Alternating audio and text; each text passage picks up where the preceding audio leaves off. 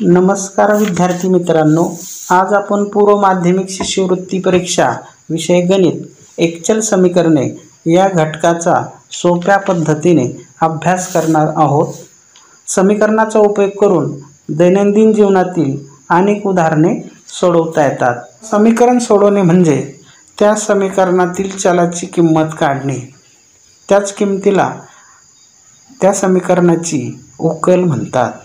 आता उकल म्हणजे काय ते समजावून घेऊ.